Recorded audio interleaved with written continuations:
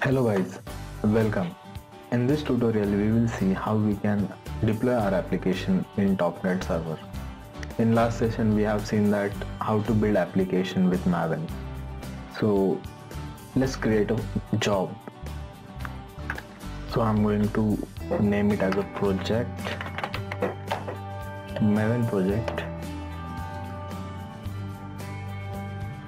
As I'm going to pull uh, my project from github. So i'm using this link. You can use this same code or you can create your own if you want. Source code management.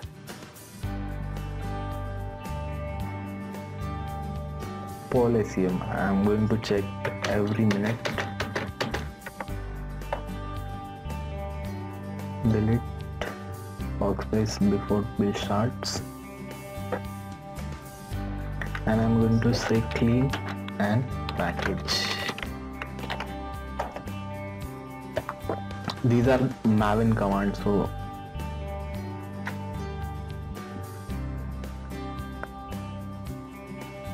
post build. So you guys can see there is no option to deploy war or jar so we need a plugin for that.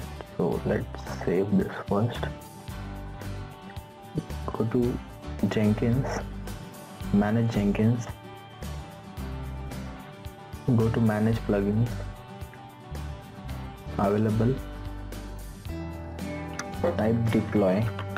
In available section down here deploy to container plugin. Just check that and install without restart so it is getting installed. This is the plugin that we are using from Jenkins.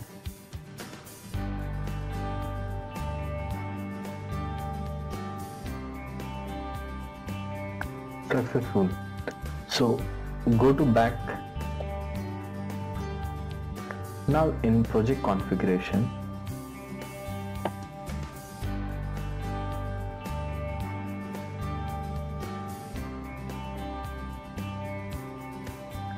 after post build action.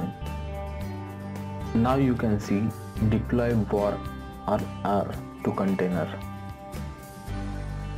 Uh, what is so we need to deploy war file. So just copy this paste. And whatever folder you want to give to your project. So I'm going to give it as a spring project and container now guys you need to add tomcat. So I'm just adding tomcat. Credentials. Then just add in Jenkins so I have I think this is already added. So let's check it again and choose that credential and URL of your Tomcat. So I'm running Tomcat on localhost 8080 as you can see copy the URL paste and say save. Let's build the project and let's see what happens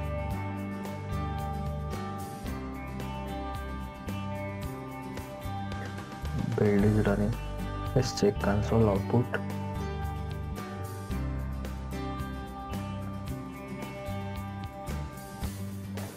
it is running clean and package command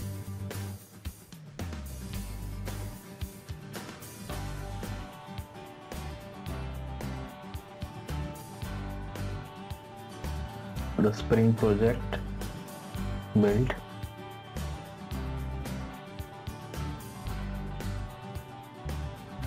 successfully run test 1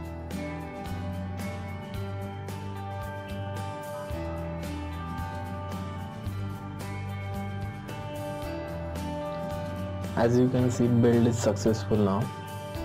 And the deployment so is successful.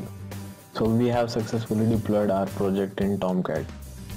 So let's check with that tomcat web apps spring project.war this file we have deployed. So thank you so much guys for watching video. Like comment and subscribe